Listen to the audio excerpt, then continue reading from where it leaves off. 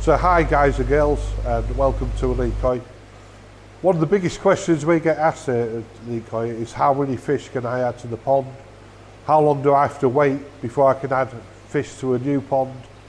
That's probably the number one question that we're going to ask. So to try and answer some of these questions, uh, we've decided to come up with a series talking about new, point, new pond syndrome. Now, uh, guess we best start by saying what is new pond syndrome.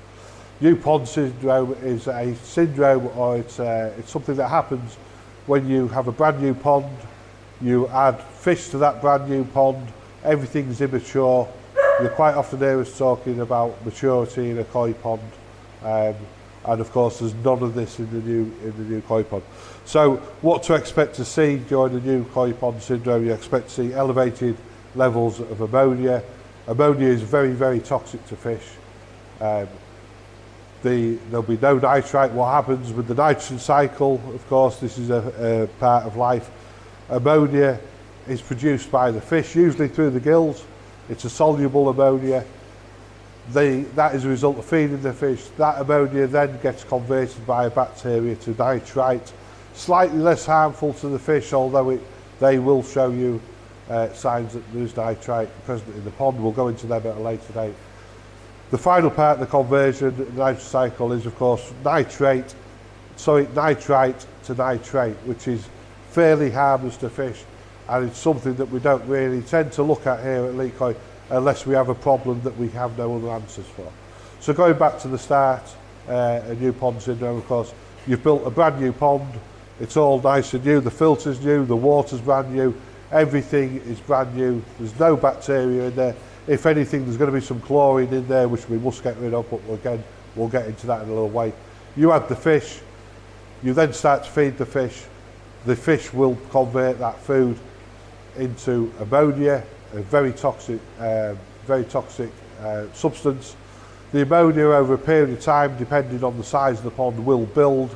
It usually takes between seven and 10 days for that ammonia bacteria to get going, uh, to start cycling from the more toxic ammonia to the slightly less toxic nitrite. Now during this period, this video series is going to look to address of how you can reduce the ammonia levels while still feeding it. Of course, ammonia is a very funny substance because as much as we don't want it in the pond, we've got to produce it to get rid of it. So in many ways, there are many things that we're going to be talking about uh, during these series always look as uh, you're cycling your filter, building your bacteria levels as training an athlete.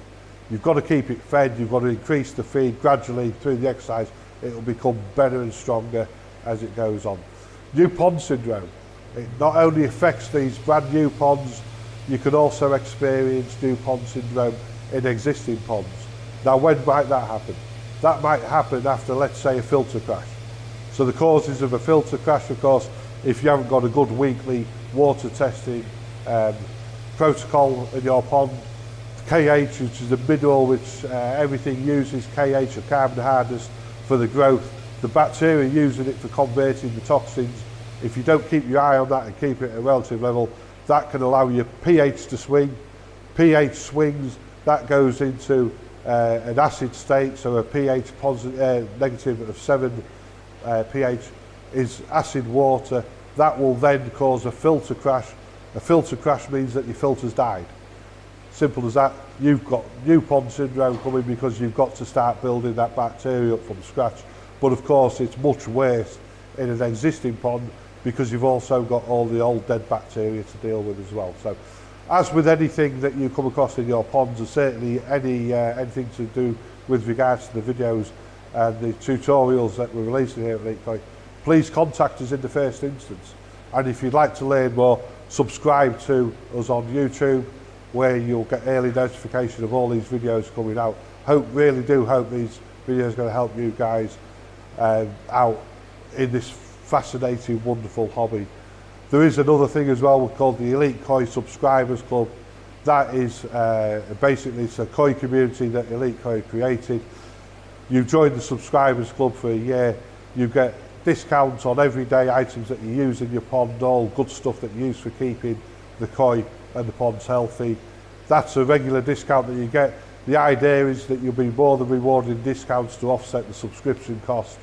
And not only that, there's also a private subscribers room there where we all congregate on a Friday afternoon for a chat. You can always come along there if you have any specific problems, if you'd like to ask any of the guys any questions with regards to anything with their ponds. And of course, I'll be there as well so I can also help you out on a one-to-one -one basis. So that's probably the most valuable part of that subscribers club.